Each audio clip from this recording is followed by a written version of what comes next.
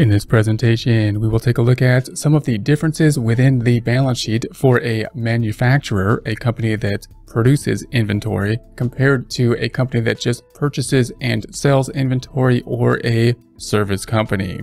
And clearly the difference is going to be related to inventory. So the major difference Support accounting instruction by clicking the link below giving you a free month membership to all of the content on our website broken out by category, further broken out by course. Each course then organized in a logical, reasonable fashion, making it much more easy to find what you need than can be done on a YouTube page. We also include added resources such as Excel practice problems, PDF files, and more like QuickBooks backup files when applicable. So once again, click the link below for a free month membership to our website and all the content on it.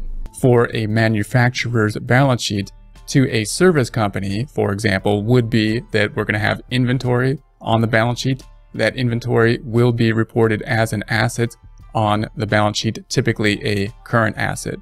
Now, when we go from a company that just purchases and sells inventory to a company that actually manufactures, produces, makes the inventory, then the inventory could be broken out to components. We're going to have raw materials inventory, we're going to have work in process inventory, we're going to have finished goods inventory. Now these may be grouped on the balance sheet in different ways within inventory, be broken out into subcategories of raw materials, work in process, or finished goods, or be uh, consolidated in some way.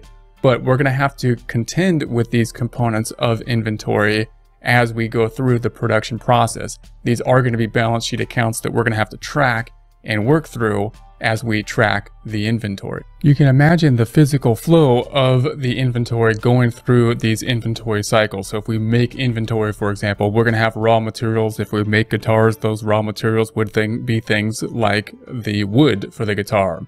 The wood would then be transferred to the work in process.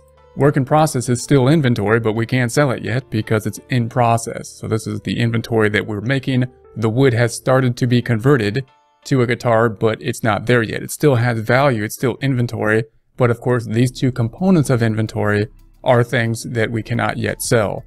Within work in process, you can also imagine not just the raw materials as we see here, but we're going to include other things in that work in process, which is going to include the uh, direct labor and the overhead.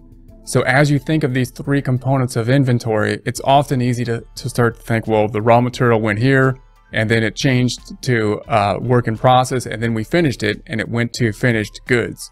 As we go through that process, we're going to emphasize the fact that it's not just the raw materials that are being here in work in process. It's going to include the direct labor and the overhead within that process. And then that's going to be converted to the finished goods. So once we're done, then we can sell the guitar. It's ready to be sold. We can put it on the market here. It'll be within finished goods that we can then sell. After it's sold, then of course, it can move to cost of goods sold on the income statement as we would for uh, a normal type of company that uh, a, a merchandising company that would just purchase and sell goods. So once it's in the finished goods state, then we're in a similar state as we would be for a merchandiser uh, ready to sell that. The next step, of course, would be that sale. The next step would be us recording the expense in the form of cost of goods sold.